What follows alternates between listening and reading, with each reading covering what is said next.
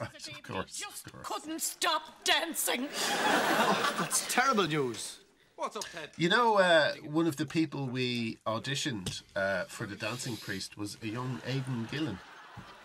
Uh, did I? Oh right, did I know that? Oh, maybe In, fa- in, in fact, he ra- he was so embarrassed that he literally ran out of the room.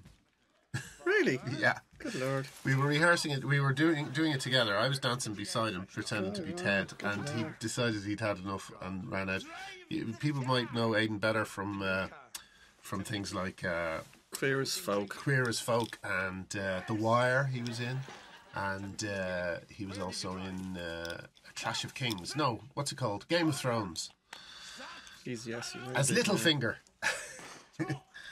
I met Kevin Bishop. I did something with recently. He said he auditioned for, and I didn't remember it all. Did he?